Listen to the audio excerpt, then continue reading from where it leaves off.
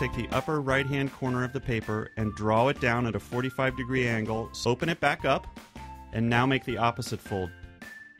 We're again going to take the upper right hand corner of the page, but this time fold it down only so far that now it lines up with the crease from our first fold. And now again, do the same thing on the opposite side. Take the left hand side of the paper and fold it over so that it lines up with the crease made from fold number two.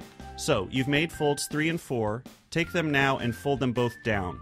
Do you see where folds three and four intersect on the top of the page? They make a point mm-hmm. about halfway down the page, Right. right? Put your finger on that point and now fold the top of the plane over down along that point. Use that point as the axis of the fold. Now comes my favorite fold. We're going to take the top two corners of the plane, all right? And we're going to bring them down so they meet in the middle. Now it's going to actually start looking like a paper airplane. Take the flap that's lying beneath your new uh, airplane nose and bring that up as far as it will go. We are going to fold the plane in half along its body. This is the tricky fold that people really get confused by. You start at the at the nose of your plane, right?